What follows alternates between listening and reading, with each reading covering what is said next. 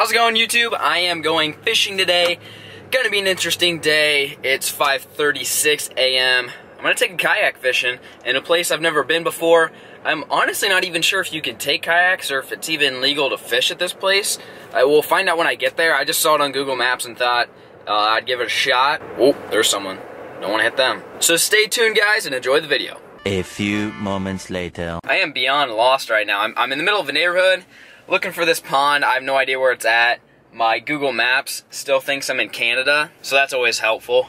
So I'm just gonna drive around, hopefully find this lake quick. So I made it to the pond, 6.15. It's still extremely early. The sunrise isn't until like 6.50. I have no idea why I got up so early. I was just way too excited to go fishing. I've been fishing in like 12 days, basically since Canada. But I'm gonna go down to the lake. We're gonna see what this uh, this lake looks like here. So I've never been here, found it on Google Maps which is always a kind of a fun way to discover new places to fill this grass is wet. We've got some good news. Fishing is legal here, so I don't want to see any hate comments about me breaking the law. As you can see, I brought a kayak with me. So I've only been kayak fishing once, and that was not out of this kayak. This is actually my own kayak. I've got two of them now. And this is like one of the standard paddle ones, uh, not the pedal one. So it'll be interesting. I've never really fished out of one of these before. I'm just gonna kind of test it out, see what I think about it. Hopefully I don't fall in the water. That's always a possibility. And hopefully I stick a freaking giant.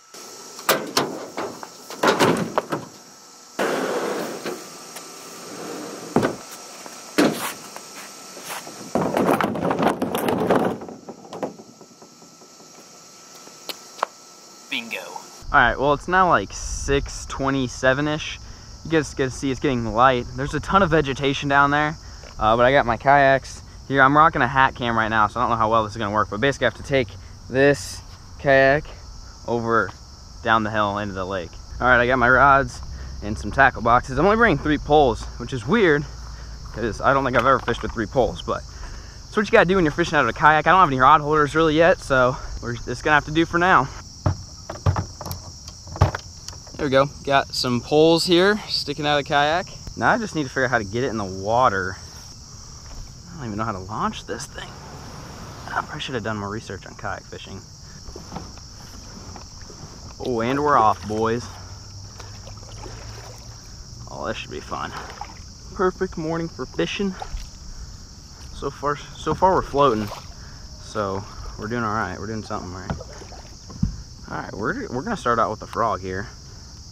This looks like quite a froggy area. Setting the hook on a frogfish out of a kayak though, that is gonna be pretty interesting. Some bait fish skipping up there, looks like. What the heck is that? Got some fighting birds over there. Got some bird action. Really have no idea how deep I am. I definitely should have brought like an eye bobber or something. But uh, we're just gonna go to this bank and start chucking a frog around for a little bit and see what happens. All right, let's keep moving. Gotta find a big old bass. Well, so far I've been fishing about 30 minutes, not a single sniff. Gonna keep moving. I know there's gotta be fish biting. There's always fish biting.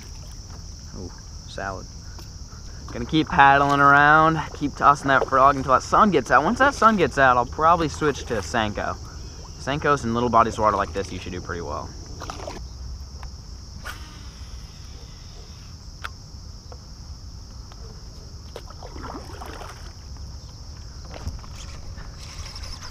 Oh, got one. Oh, yeah. First fish, finally. Oh my gosh, that took forever. Come here, buddy. Not a giant by any means, but I'll take it. After a slow frog bite morning, I'll take this buddy all day long. It took 45 minutes for that dude. We're slowly, slowly figuring these fish out. See you later, buddy.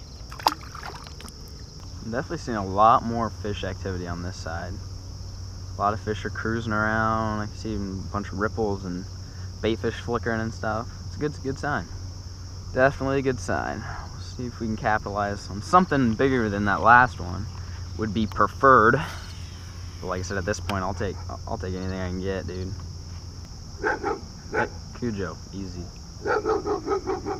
Hey, check this out. Ooh, I like this. See, this is this right here is why I go kayak fishing. Look at this spot. This is a spot there's no way you can get here from like the bank or nothing. Oh, I hear running water. This could be lethal, fellas. This could be lethal. All right, I'm prepared to catch like a six pounder. If I'm gonna catch a giant, it's gonna come right out of here.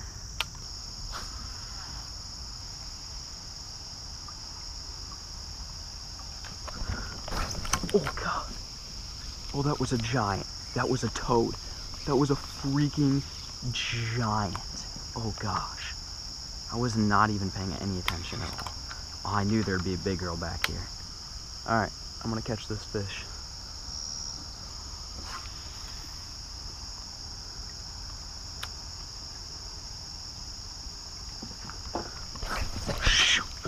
Missed it again. Third time's the charm. Oh no! Oh god. I missed him. I missed him. Alright, alright. There's a slight chance he'll bite again. Not very likely considering I actually got a piece of him on that one. That was my fault. That was so dumb. Gosh, that was so dumb. That was a big fish. Alright, well, since I suck at fishing, gosh dang it, that sucks. That was a good fish. So this is my only my only option here, and that is to tie on a Senko. And the reason I'm doing that is because the Senko is just an easy meal for them. So that he, he's probably a little shy from that frog now, uh, especially after I hooked into him and then lost him. So I'm going to tie on a, just a weightless Senko or a, a lightly weighted Senko and just pitch in there. That's basically my last my last shot at catching this fish. And then I'll probably go fishing for maybe an hour or two on the main lake and come back and uh, try to catch him again. All right, that's what I ended up, go, ended up going with. Weightless black and blue Yamamoto Senko. All right, this is my last chance at catching these this fish.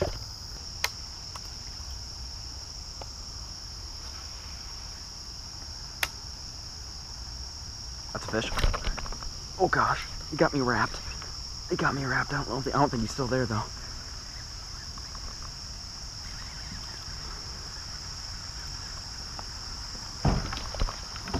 I am really, really bad at kayak fishing.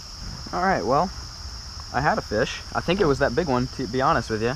He, uh, he ate my Senko as it came off that rock. Took me a second to realize that he was actually there. I saw the swirl, didn't think he bit it. He did, and wrapped me around that post. And uh, he got off, so I'm gonna get out of here. I'm gonna keep fishing the main lake. I'll come back here in maybe a couple hours. I'm just gonna throw this weightless Senko around, see what happens. Whoa. Oh, that's a fish. First cast on the Senko. Woo! Not a piggy. That's better than the first one. Check that out, folks. We might be onto something. They may eat the Senko.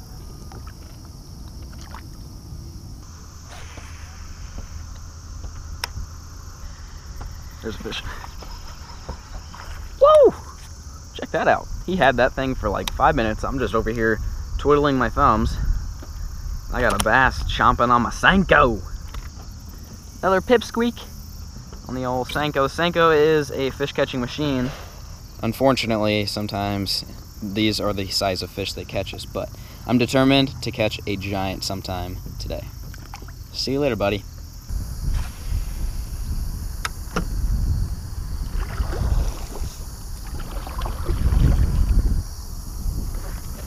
There's one. Woo! Finally, finally hooked into one of these dang things. Oh, he threw my Senko. Come here, buddy. Still not the size we're looking for. He's not too bad. A little pound and a halfer. See ya, bub. 20 minutes later. Well, guys, Big Bertha, not there. Doesn't want my frog. I missed out on a good opportunity earlier this morning. I blew it. Guess I learned my lesson. I don't really know what that lesson is, but I just need to not do what I did earlier. Hope you guys still enjoyed the video. I'm to continue fishing all the way back to the truck, load up the kayak, and then I'm to go over my rod, my reel, my line, all the setups that I had, what lures I was throwing, why I was throwing them, where I was throwing them, that type of stuff. Hopefully you guys can learn something. Stay tuned. Made it to shore.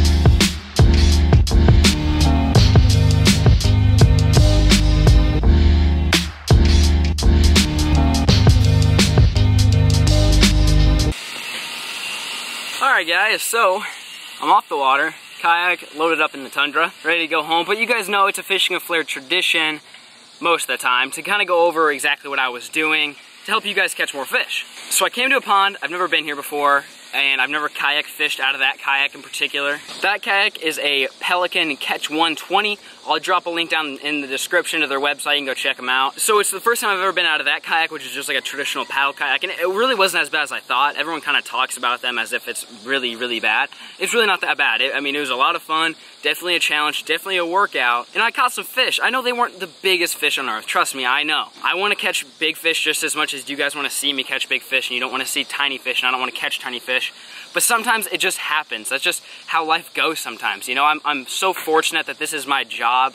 This is my life to be able to go fishing on a Wednesday morning. And you know, any day that I can get out on the water and share my experience with you guys and hopefully teach you guys something, even if you leave here with one thing, just one thing to help you catch fish the next time you guys go out, that is a win in my book any day. So what I did is I started out frogging, you know, that didn't really work. I don't know why. I, it totally looked like a frog in lake. Uh, the only thing I can think of is the mud. The water is very muddy. It is straight chocolate milk. It's been raining a ton lately, and maybe for some reason that it's got them tucked up in the weeds so tight that they won't even hit a frog. I don't really know, but I did catch one on a frog, so I kind of go over that. And this was a, uh, a LiveTarget frog with a, this is a Castaway Grassmaster braid rod, which is a 7.3 heavy. And the reel's a fast gear ratio, a 3 to 1 gear ratio, and I've got 50 pound Seaguar Smackdown tournament braid. So you guys know, I mean, frog fishing is pretty simple. Unless you guys are new to the game of bass fishing, I don't really need to explain a whole lot other than I was throwing it next to vegetation, and uh, the, if the fish are hiding in it, sometimes they'll go out and hit it. But the setup I caught the other few fish on and missed quite a few fish on was this dude right here. That's a weightless Yamamoto Senko. You guys see me throw this all the time. This one is black and red. I caught them on black and blue today. It didn't really matter.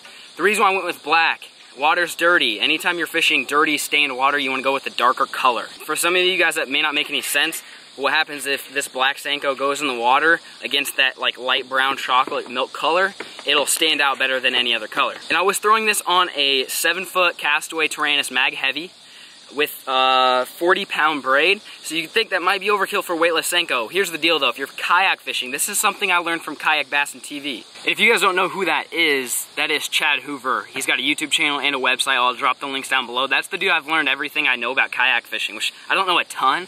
I just haven't really taken the time to go watch a lot of his videos and read articles and stuff.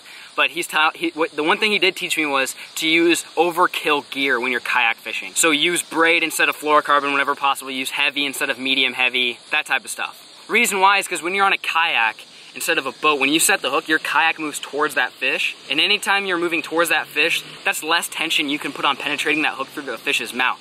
So if you set the hook and your kayak moves towards them, that's less power going through that hook. Versus if you're on a giant 21 foot bass boat, you don't need braid all the time. The reel 7.5 to 1 gear ratio, just anything high speed, um, anything will really work for that. And the hook, I believe, is like a 4 round bend, and again, Yamamoto Senko and I was just pitching that thing around grass edges. So the frog I was throwing up in the weeds, up in the grass, that was on the edge. So you would you let it sink and it would sit there and kind of quiver its way down and that's when I'd get a few strikes. I didn't miss a lot of fish. I probably missed four or five fish today. So, I mean, in reality, if I hooked everything, I should have close to like eight to 10 fish. None of them were giants except for that one. I missed that one. That one really killed me. I was, I, I mean, I'm pretty pissed. There's not a lot I can do. I'm new to the kayak thing. Like I said, I, I just, I'm not very good at it yet. But that just really sucked when I missed that fish because I'm pretty positive it's a giant. I, I, I might say that every time, but like, just the way they hit, usually giant fish when they hit frogs, it's just one big boil. It's not, it's not like a giant explosion and stuff. It's just a boil. It's just, they don't need to exert that much energy. I don't know. All right, I've talked quite a bit. If you guys have any questions, you let me know. Drop a like. If you guys like kayak fishing, you want to see more, I'm, I'm really trying to evolve as, a, as an angler. I mean, I grew, I grew up fishing out of a boat all my life and kayak fishing, you know, I'm 19, I've been fishing all my life. It's something I really haven't done before this year. So I like to share my, my journeys with you, although this was not the best video. Trust me, it was not the best video. It's gonna really be a struggle to make this into a good video. The fish size just were not there, the quantity was not there. But I love sharing moments like this with you, any life lessons, any, any lessons in fishing in general. I love sharing that with you guys. So really, I do appreciate you guys dropping a thumbs up. Throw a comment down below. What do you wanna see?